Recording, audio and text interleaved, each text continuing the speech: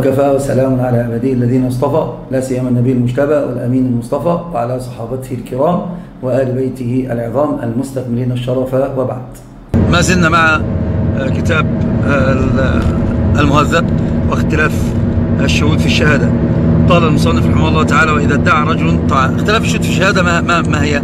أنت تنظر في الاختلاف هذا الاختلاف يرد الشهادة فيجعله كالتضاد فتنتهي فتسقط الشهادات أو يكون الاختلاف على تنوع. التنوع يجعل الشهادة تقام ولكن الحق هل يقام أم لا ينظر فيه. يعني لو شاهدوا مثلا اتفقت الشهادة على على على مال معين أنه زيد له عند عمرو مالا. لكن شهد البعض بالنصف وشهد الآخر بالنصف الآخر فالشهادة هذه مع الشهادة هذه عندما يتفقان تكون الشهادة على المال الذي يستحق زيد. أو أنه يشهد شهادة تعتبر مخالفة ليست مطابقة لشهادة الأول. يعني يشهد اثنان بأنه زنى بامرأة في بلد كذا والآخر يقول له وزنى بها في بلد كذا. فهنا تعد هذه رب يرضى عنك الله يكرمك السمراء أحسن الله عليك. تعد هذه الشهادة شهادة إيش؟ شهادة باطلة باطلة متضادة فلا تقام الشهادة ولا يعمل بها.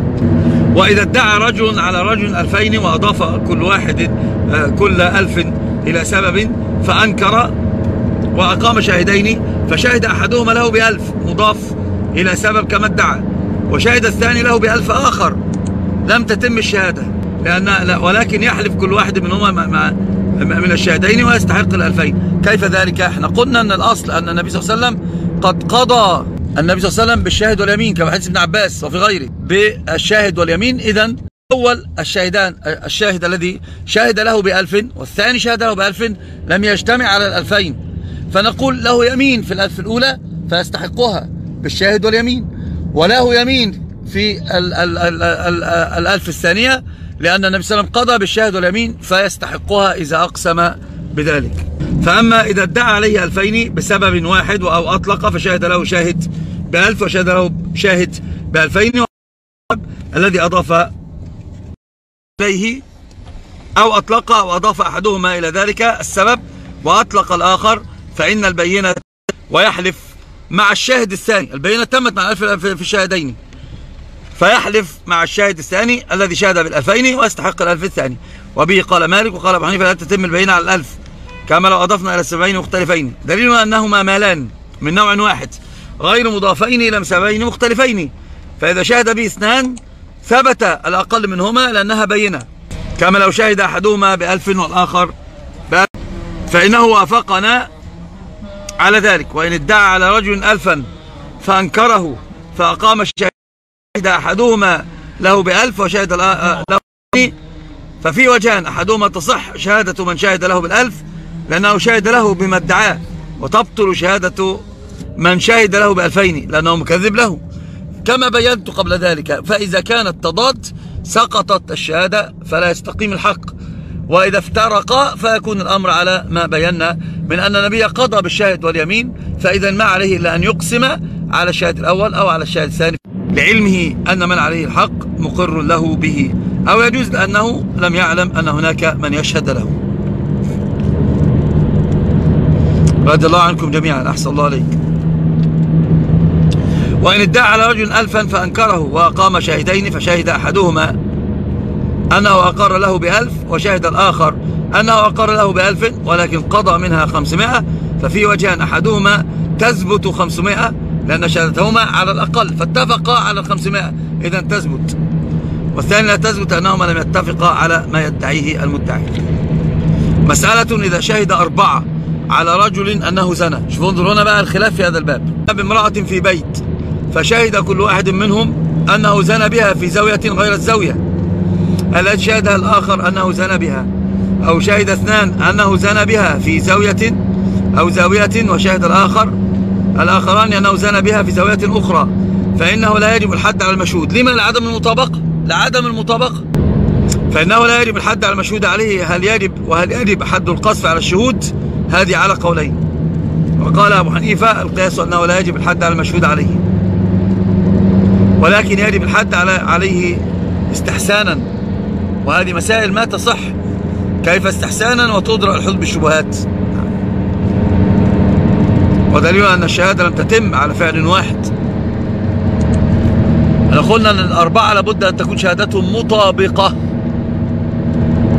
فلم يجب الحد على المشهود عليه كما لو شهد اثنان أنه زنى بها في الغداة وشهد آخران أنه زنى بها في العشي فرع وأن شهد اثنان أنه زنى بها في البصرة وشهد آخران هذا أبعد ما يكون.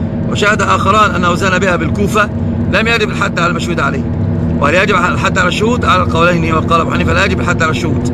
مذهب أن الشهود إذا نقص عددهم وجب عليهم الحد وقال لأن عددهم هنا قد كمل فلم يحدوا والصحيح أنهم نقص عددهم لعدم وجود المطابقة. وهذا غلط لأن عددهم لم يكمل على فعل واحد إنما كمل على فعلين يعني المطابقة غير موجودة. فرع وإن شهد اثنان على رجل أنه زنى بامرأة وهي مطاوعة له وشهد آخران أنه زنى بها وهي مكرهة فلا خلاف. أنه لا يجب الحد على المرأة لأن البينة لم تكمل في حقها. إذا لا لا حد عليها. وأما الرجل فنص رحمه الله تعالى الشافعي أنه لا يجب عليه الحد وبه قال أبو يوسف. أيضا لعدم المطابقة واكتمال النصاب قال أبو العباس يجب عليه الحد وبه قال أبو حنيفة أن حكمه إذا طوعته أو أكرهها لا يختلف لأنه زاني زاني. يبقى الأربعة قالوا بإيش؟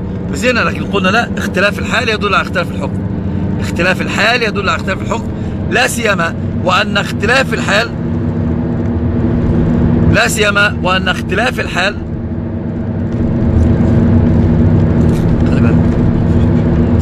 لا سيما وأن اختلاف الحال شبهة. والحدود تدرأ بالشبهات بالشبهات. وأما الشهود فالذي يقتضي المذهب أن وجوب الحد عليهم للمرأة القولين. وأما وجوب الحد عليهم للرجل فإن قلنا إنه لا يجب عليه حد كان في وجوب الحد عليهم قولان كما بينا قبل ذلك. وإن قلنا يجب عليه حد لم يجب عليه له عليه عليهم حد قولا واحدا كل هذه مسألة اختلاف الشهود. لأنها بينة والبينة لابد أن تكون متفقة. مسألة وإذا ادعى رجل على رجل أنه قذفه فأنكر فأقام المدعي شاهدين. فشهد أحدهما أنه قذفه بالعربية وشهد الآخر أنه قذفه بالعجمية أحدهما أنه قذفه يوم الخميس شهد الآخر أنه قذفه يوم الجمعة لم يجب الحد. لأن البينة لم تكمل على قذف واحد. كما قلت اختلاف الأحوال يؤدي إلى اختلاف اختلاف الأحوال مستلزم منه الشبهة والحدود تدرأ بالشبهات. والحدود تدرأ بالشبهات. وإن شهد أحدهما أنه أقر, أقر بقذفه بالعربية وشهد الآخر أنه أقر بالعجمية بقذفه أو شهد أحدهما أنه أقر يوم الخميس أنه قذفه وشهد الآخر أنه أقر يوم الجمعة أنه قذفه. وجب الحد لأن المقر به واحد. وإن اختلفت العبارة عنه. إذا إذا إذا هنا نزلت في المطابقة وإذا كانت المطابقة فلا بد أن نقول نعم اختلاف الشهود أو اختلاف الشهادة لا يؤثر. اختلاف الشهادة لا يؤثر. فرع. وإن شاهد, وإن شاهد أجنبيان أن فلانا أوصى بعتق عبده غانم وقيمته ثلث ماله وشهد وارثان أنه رجع عن وصيته. بعتق غانم وأوصى بعتق سالم وقيمته ثلث ماله والبينتان عادلتان إذا الوارثين تقبل بإبطال عتق غانم وبإثبات عتق سالم المتأخر هو له الحكم. لأنهما لا يجران إلى نفسهما بذلك نفعا ولا يدفعان عنهما ضررا لأن قيمة العبدين متساوية, متساوية. قلنا أن الشهادة ترد إذا, إذا كانت جلبا لنفسه نفعا أو دفعا عن نفسه ضرا. وإن كان أجنبيان عدلين والوارثان فاسقين لم تقبل شهادة الوارثين بالرجوع عن عتق غانم ولكنهما يقولان غانم لا يستحق العتق وإنما الذي يستحق العتق العتق سالم فيكون غانم كالمغصوب عليهما. قال الشافعي رحمه الله تعالى فيعتق عليهما ثلث سالم وهو ثلث التركة ما بق مما بقي من المال فيه وهذا يؤيد قول ابن السباق في الأولى وإن كان الأجنبيان فاسقين والوارثان عدلين. فلا تعارض شهادة الأجنبيين الفاسقين شهادة العدلين. فيعتق العبد الذي شهد له الوارثان بالوصية. نختم الباب بفرعين. فرع وإن شهد رجلين أنه أوصى لزيد بثلث ماله وهنا نصاب رجلان اكتمل. وشهد واحد أنه أوصى لعمر بثلث ماله فليحلف عمرو ويساوي زيدا في قسمة الثلث بينهما. في قولان مضى بيانهما. والحق أن البينة تقدم. شهد رجلان اكتملا. عليكم السلام ورحمة الله وبركاته. أحسن الله عليكم. زادكم الله حرصا فإذا شهد الشاهدان اكتملت البينة فكانت له. وأما الآخر فقد شهد له شاهد فإذا لا لم تكتمل البينة له.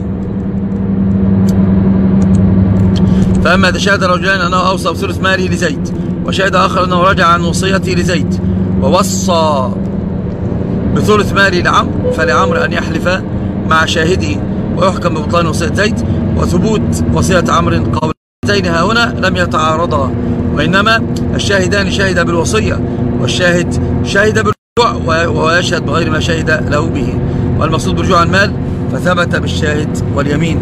مقصود رجوع المال فثبت بالشاهد واليمين. ولأن هذا ناقل عن الأصل ولأنها معه زيادة علم.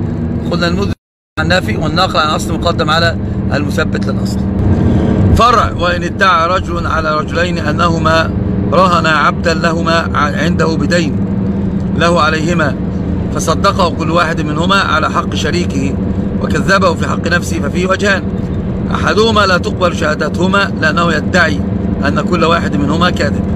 والثاني تقبل شهادتهما ويحلف كل واحد مع كل واحد منهما ويصير العبد رهنا عنده لأن كذب كل واحد منهما غير معلوم لجواز أن يكون نسي رهنه لنصيبه والله تعالى أعلى وأعلم. هذا بالنسبة لاختلاف الشهود ومجامع الأمر كما قلنا إن كانت مطابقة يستحق الحق وإن لم تكن مطابقة فينظر فيها إن كانت متفرقة على شيء واحد يطابق يبقى إذن الشاهد واليمين يستحق صاحبه الحق به. ما دام مالا أو, أو كان مقصود, مقصود مال. وإن تعارضتا تساقطتا. الانتقال إلى باب آخر. ولله الحمد والمنة. باب إذا شهد الشهود عند الحاكم ثم رجعوا عن الشهادة. لم لم يخلو رجوعهم من ثلاث أحوال. هذه مهمة جدا هذه المسألة. نجيب على الأسئلة بعد الدرس. إما أن يكون قبل الحكم بشهادتهم أو بعد الحكم وقبل استفاء ما شاهدوا به. أو بعد الحكم بعد استفاء ما به. هذه الأحوال الثلاثة إذا رجع الشهود عن عن شهادتهم. فإن كان قبل الحكم لم يجز للحاكم أن يحكم بشهادته. قال الشيخ أبو حامد وهو إجماع إلا ما حكي عن أبي ثور أنه قال يحكم شهادتهم. لأن الشهادة, الشهادة قد حصلت فلم تبطل بالرجوع كما لو رجعوا بعد الحكم.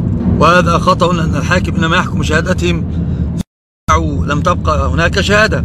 يحكم بها. ولأن الحاكم إنما يجوز له أن يحكم بشهادة بشهادة يغلب على ظنه صدق شهودها فإذا رجعوا عن شهادة احتمل أن يكونوا صادقين في الشهادة كاذبين في الرجوع. واحتمل أن يكونوا كاذبين في الشهادة صادقين في الرجوع. وذلك يوقع شكا في شهادتهما. فلم يجوز الحكم شهادتهم كما لو فسقوا بعد الشهادة أو فسقوا بعد الشهادة ولم يكن الحكم. ترد الشهادة. وإن شهدوا بحق فقالوا للحاكم قبل الحكم.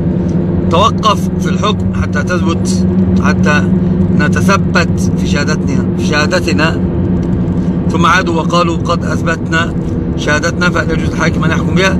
في وجهان يجوز أن يحكم بها لأنهم لم يرجعوا عن الشهادة. هم قالوا توقف حتى نتثبت. سنجوز يجوز أن يحكم بها لأن قولهم هذا يورث ريبة. في شهادتهم والحدود تدرأ بالشبهات. فإن رجعوا بعد حكم الحاكم شهادتهم وقبل استيفاء ما شهدوا به فإن كان ما شهدوا به مما يسقط بالشبهة كالحدود أو القصاص لم يجوز استيفاؤه لأن هذه الحقوق تسقط بالشبهة ورجوع الشهود أقوى شبهة لم يجوز استيفاؤه حكم السعودية وجه آخر في القصاص أنه استوفى لأنه حق الأدمي والأول هو الأصح والمعتمد. وإن كان المشهود بحق الآدمي لم يسقط بالشبهة كالمال والنكاح وما أشبهه. فالمنصوص أنه يجوز للمشهود له استفاؤه ومن أصحابنا من قال لا يجوز له استفاؤه لأن الحكم غير مستقر قبل استيفاء المشهود به. فراجعوا الشهود في هذه الحالة فرجوع الشهود في هذه الحالة كرجوعهم قبل الحكم. وليس بشيء لأن الحكم قد نفذ والشبهة لا تؤثر فيه فجاز استيفاؤه. وراجعوا بعد الحكم وبعد استيفائه المشهود به. لم ينقض بل يجب على المشهود له رد ما أخذه. انتهى الأمر. وهو قول كافة العلماء إلى ابن المسيب والأوزاعي فإنهما قال ينقض الحكم ويجب على المشهود له أن يرد ما أخذه. وهكذا قال إذا رجع الشهود بعد الحكم قبل استيفاء فإنه ينقض الحكم ولا يستوفى الحق المشهود الحق هذه تدخل في مسألة الاجتهاد وأن الاجتهاد لا ينتقد بالاجتهاد لا سيما مرت سنون على ذلك. ودليل أن الشهود يجوز أن يكونوا صادقين في الشهادة كاذبين في الرجوع ويجوز أن يكون أن يكونوا كاذبين في الشهادة صادقين في الرجوع فليس كل من الآخر فلا يجوز نقد الحكم لأمر محتمل. وهذا الراجح الصحيح. هذا الراجح الصحيح. نعم من رجع عن شهادته لابد ينظر في ملابسات الأمور التي ألجأته للرجوع ثم يحاسب على ذلك. نعم يحاسب على ذلك. سبحانك اللهم ربنا وبحمدك أشهد أن لا إله إلا أنت أستغفرك وأتوب إليك. والله يدعو إلى دار السلام ويهدي من يشاء إلى صراط مستقيم.